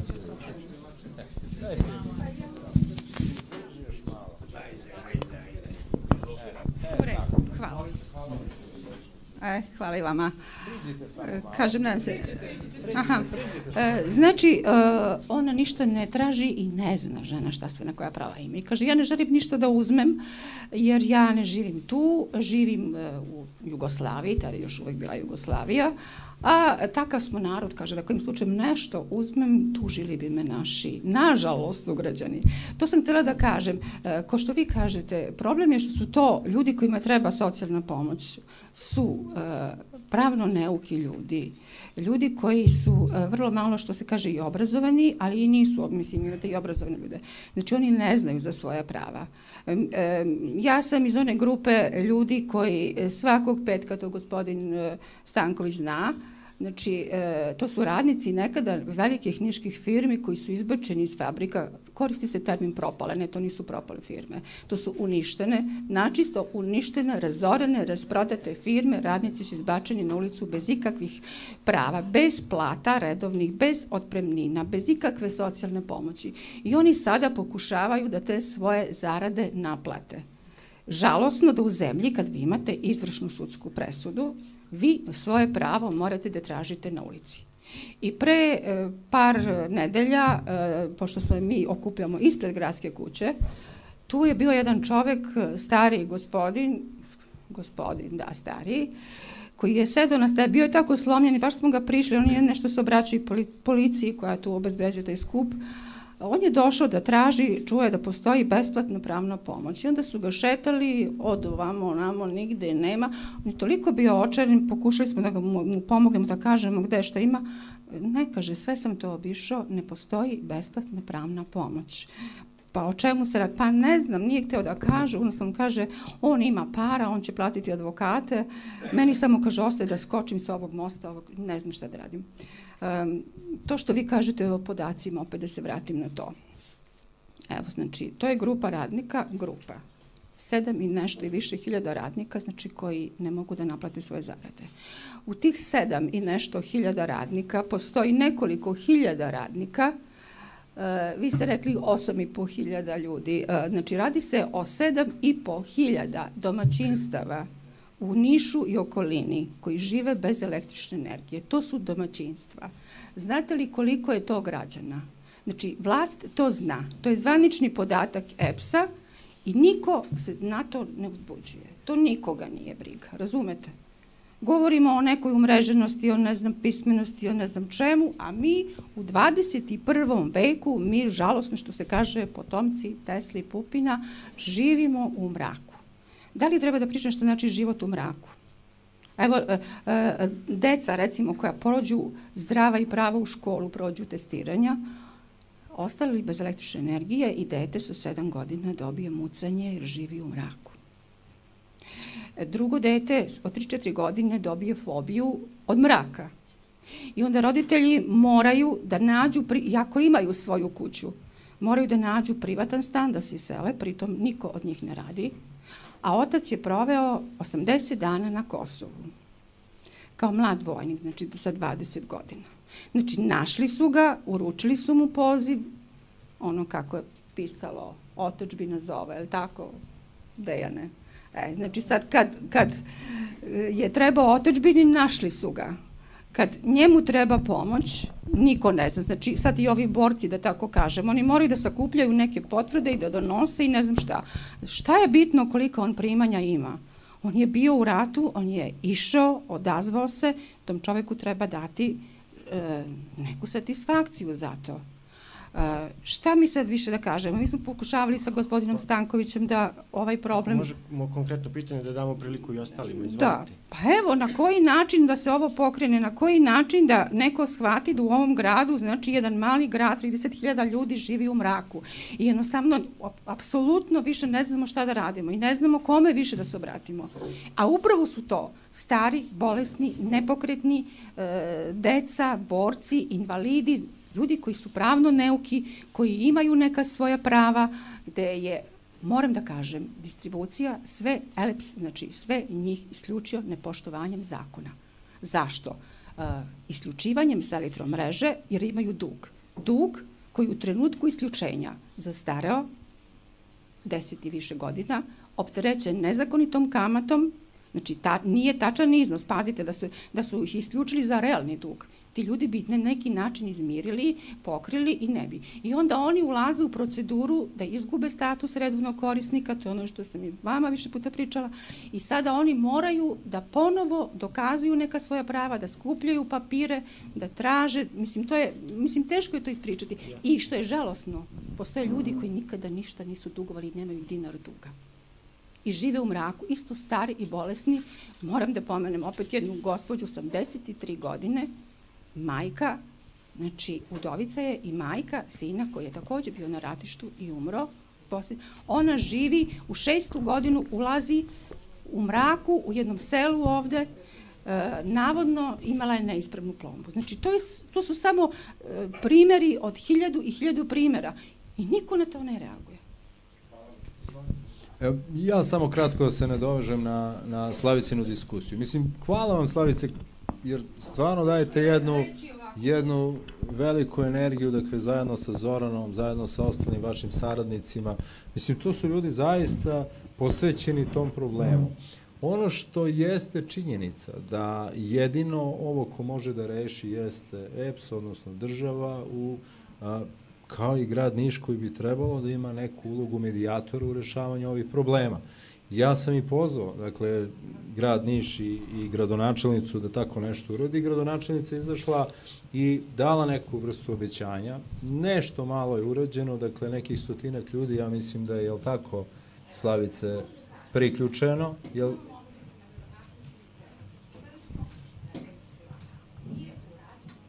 Nije urađeno ništa.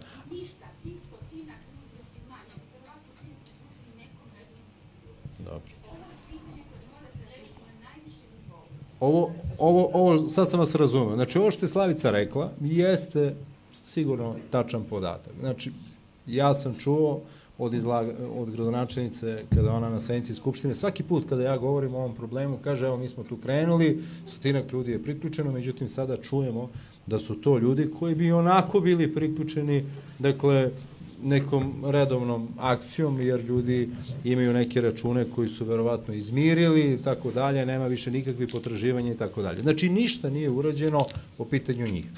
Prema tome, radit ćemo i dalje, nećemo stati svakako, jer nam je cilj da tih 7.500 porodica koji žive u mraku, a to je 30.000 ljudi u našem gradu. 30.000 ljudi živi u našem u, u, u mraku, da rešimo te probleme i da na neki način prevazićemo te poteškoće. I to možemo da uradimo samo zajedno, samo tako što ćemo se borimo i da jednostavno te probleme, da stalno ukazujemo na ove probleme. I dobro je da govorimo o, tom, o ovom problemu i na, i na današnjoj debati prenosi se debata uživo online, dakle mediji će čuti šta je ono na što ste i vi ukazali, na što, o čemu smo i mi govorili, tako da hvala vam zaista, još jednom ste veliku stvar uradili za te ljudi.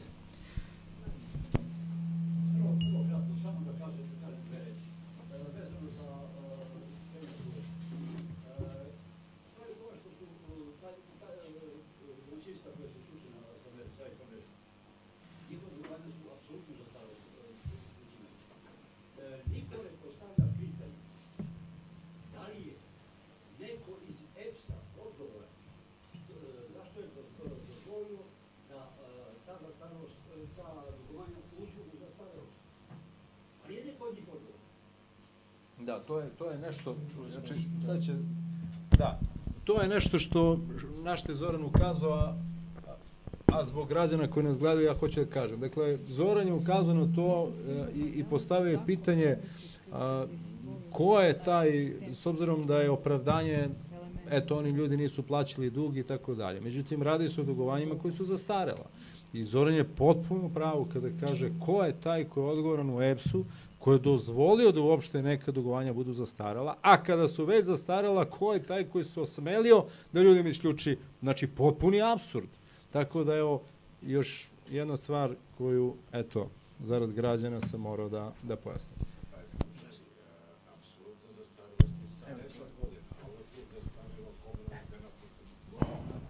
Čujemo još jedno pitanje, pa da onda krenemo ka, ka zaključnim rečima. Izvolite. Dobro večer, pozdrav svima.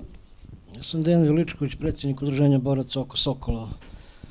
Mislio sam da se ne javljam, ali nešto, nešto me pogodilo i to moram da podelim sa vama. Slušamo, svi imamo neke probleme i, i to su ogromni problemi i ozbiljni problemi. Kako sam ja rešavao probleme? Tako što smo kampovali ispred gradske kuće. Tako što smo radili te porodice koje su živjele bez struje učesnice rata, korisnice socijalne pomoći, nije moglo dopisima. Dopisi su mi puna kuća dopisa. Sam tim ljudima rekao, ja nemam drugi način, ne, ne mogu nikako da vam pomognem u sedam sati ispred gradske kuće. Šest meseci, godinu dana, ja ću da budem ispred vas. I sa vama sve vreme. I tako je bilo. U jed nisu mogli da izdrže više, gledali su nas sa balkona. U 13 časova je došlo, radi se o prethodnom gradonačelniku, mislim iz Srpske napredne stranke. Gledali su nas od 7 sati i parole i sve te ljude i u 13 sati su došli, nisu mogli da izdrže više, jer je počeo narod da se okuplja. I onda je sutra dan rešen problem. Dobili su ljudi sredstva, platili su struju i danas imaju struju.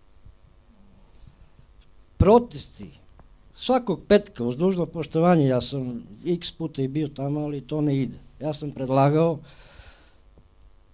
što ja volim u šali da kažem kardio protest. Došao sam da se prošetam pola sata, sata, bla, bla, bla, prođe dan, najsedeći petak i tako 10 godine, 20 godina, to ovoj vlasti odgovara. To im odgovara, ti kardio protesti im odgovaraju, jer nikad neće da se reši problem na ovaj način. I ne samo to, nego ima hiljadu stvari koje se ne rešavaju kardio protestima, nego, nego, nego samo konkretno i u glavu, što se kaže gde su gde smo sad mi da pomognemo ljudima koji štrajkuju Rome, romske populacije. Među tom romskom populacijom ima i mnogih učesnika ratova. Ko je bio u ratovima? Nisu bili ovi ministri, niti bilo koji ministri, nego su bili Romi, običan narod, radnici i seljaci. Gde su? Mislim na, na njih. Da dođu da kažu da stanu, to je bre narod, je ispred gradske kuće, tu se rešavaju problemi. Ali ajmo svi zajedno i Srbi, i Romi, i svi zajedno. Samo zajedno. A ne onaj štrajk koji je tamo, mene to ne dotiče. Ovi štrajkuju, mene to ne dotiče. Doći će ti, stići će tebe, sigurno, kad tad. Shvatite da samo zajedno možemo da radimo nešto. Mislim, ima mnogo toga, ne bih da zadržavam, mislim da ste razumeli šta sam teo da kažem. Hvala još jednom. Pa, mislio sam da možda krenemo redom, pa završne. Red, izvolite, naravno.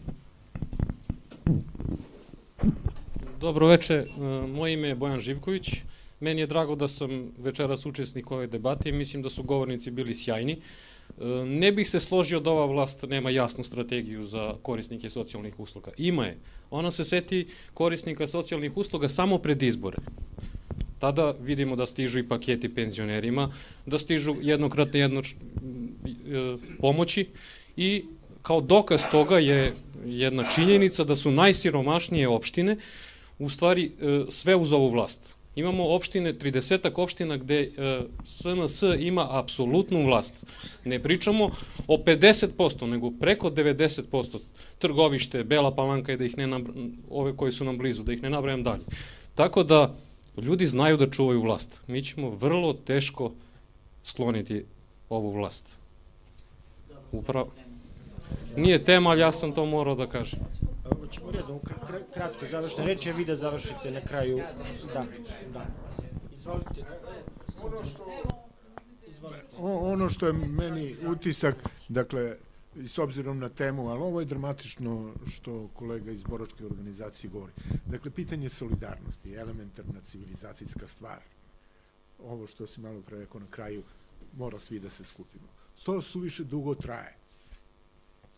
I e, to pitanje solidarnosti nadolazi sam čin što ljudi nemaju struju. Dakle, mi smo nesolidarno društvo, iako se tema odnosi na pitanje solidarnosti, dakle, socijalna zaštita, pitanje solidarnosti.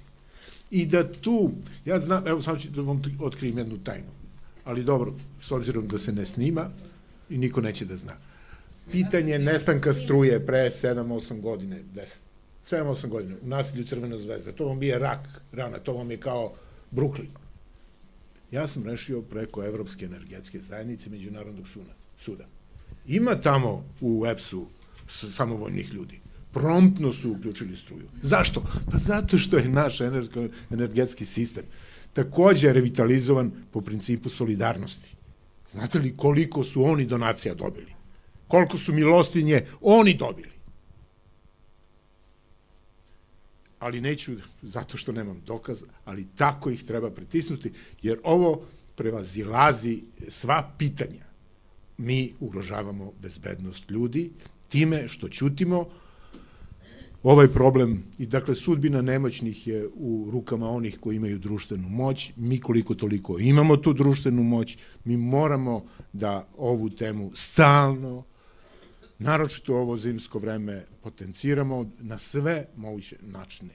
Ti ljudi ne mogu sami i verujem da im je to strašno teško, mi moramo da razgovaramo o tome. I da se ako treba dodatno organizujemo, jer kažem vam, ako smo društvo bez solidarnosti, ako mi ne uradimo ništa, da nemamo potrebe ni da otvaramo druge trivialnije teme. O, struja je egzistencijalno, biološko pitanje tih ljudi.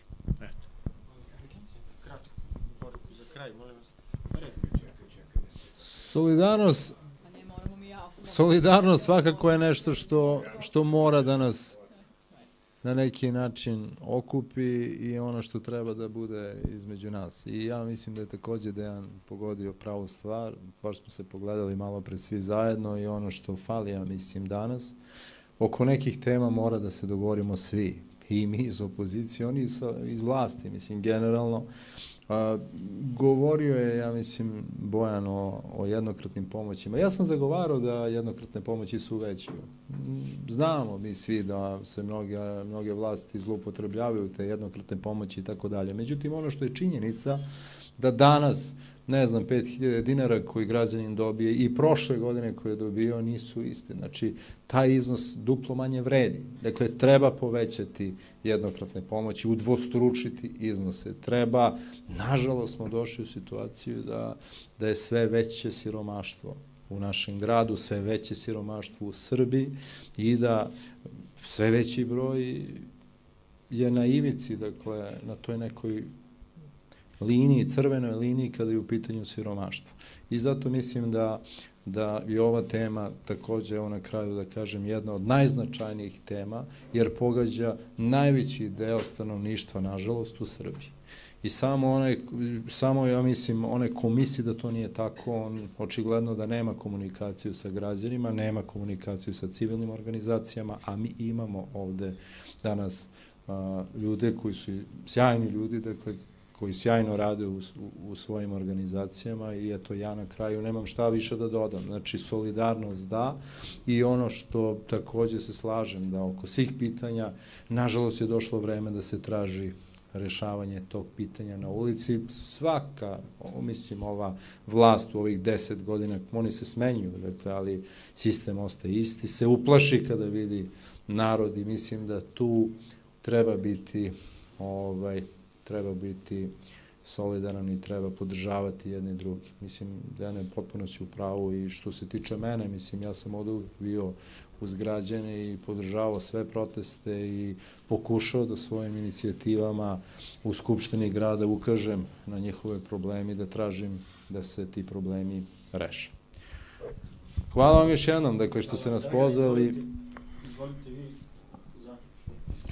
E, hvala lepo. E, Ivane, ovo si sjajno vodi organizovano. Drago mi je što sam bila sa ovako e, elokventnim i sagovornicima i Mikice Mlad, političar. Vidim da je elokventan, uspešan. Osman Balić, naravno, dugogodišnji borac.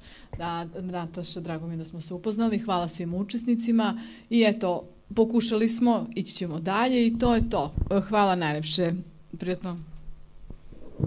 Hvala puno, Dragana.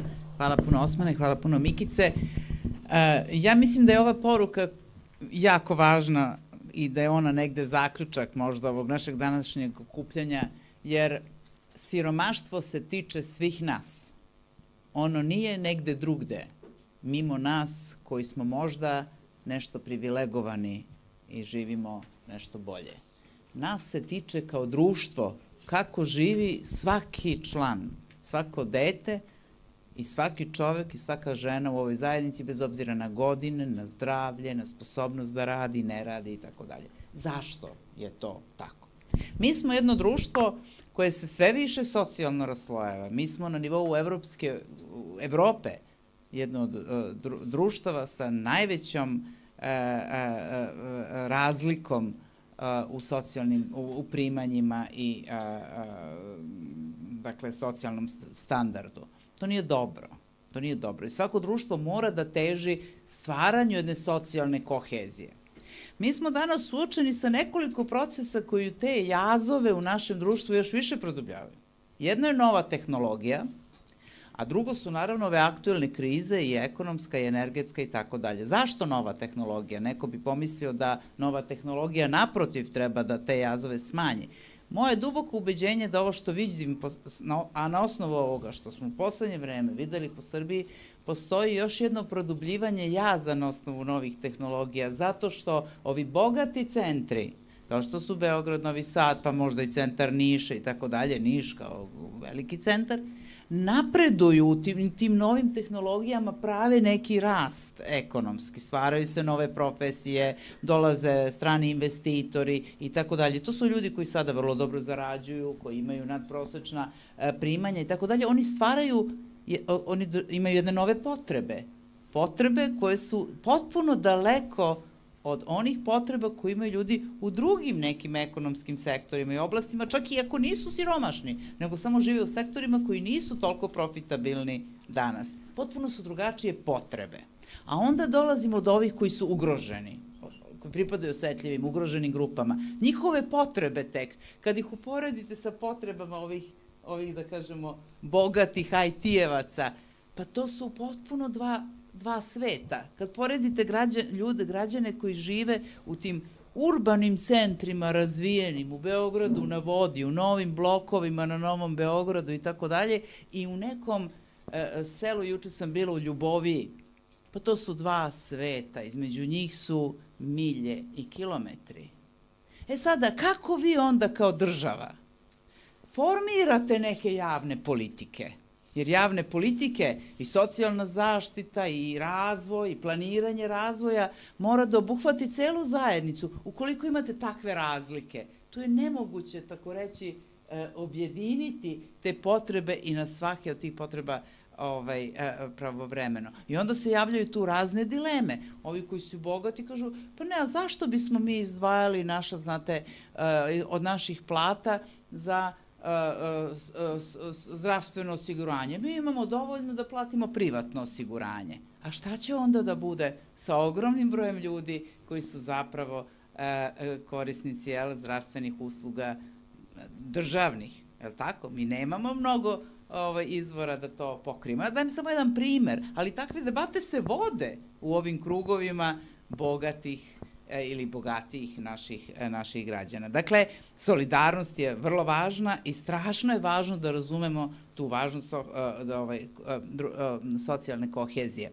Ja sam poznavala neke ljude a mislim da su mnogi od vas takođe njih poznavali. Evo prilike da pozdravim i osnivače Fondacije Centra za demokratiju Dragana Domazeta, osnivača, bivšeg ministra i poslanika i e, mog oca Slobodana Vučkovića, takođe bivšeg poslanika, ali nisam mislila na njih, nego sam mislila na neke druge takođe naše osnivače, od kojih neki nisu više danas sa nama, ali koji su potekli iz nekih krugova rođeni 20. 30. godine prošloga veka, 20. koji su potekli iz nekih sela nerazvijenih, iz nekih porodica koje nisu bile bogate, neki od njih su rođeni u kućama sa zemljanim patosom, govorimo o Desimiru Tošiću, govorimo o Vlasti Matejiću, govorimo ako hoćete i o Dragoljubu Mićunoviću, a stigli su do profesora univerziteta, do svetskih stručnjaka i tako dalje. E sada pogledajte da li je to danas moguće i kome to danas zapravo iz tih sredina stvarno pristupačno da na taj način negde e, e, usmeravaju svoju decu, razvijaju, edu, obrazuju svoju decu, da budu konkurentna sa, dakle, e, e, decom koja se obrazuju ovim velikim, bogatijim centrima i boljim školama i tako dalje. To su pitanja koje mi moramo sebi da postavimo. A zašto?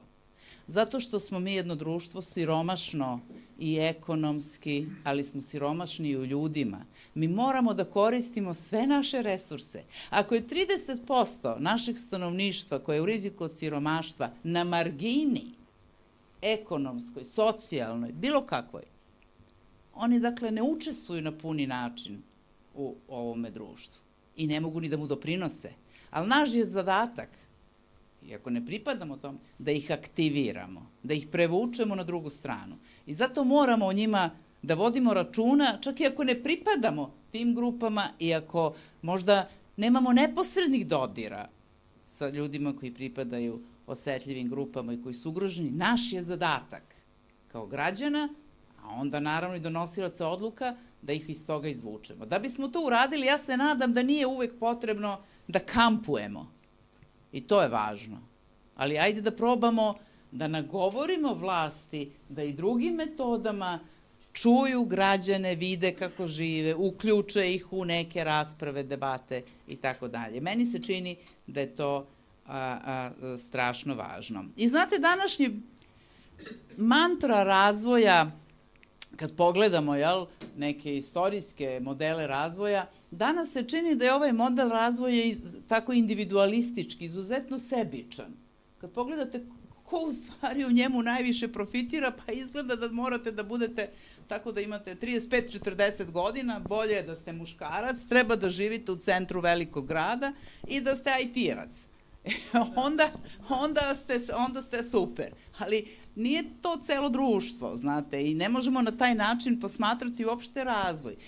Kod nas postoji jedna, jedno uverenje i na nivou vlasti vlade, rekla bih ja, Republike Srbije ove, a možda i neki prethodni, da je ekonomski rast jedini uslov da ljudi žive bolje. Ne, vrlo je važan ekonomski rast. Ekonomski rast je strašno važan, ali on još uvek ne doprinosi tome da distribucija stvorenog bogatstva bude takva da uključi a, ljude u društvo.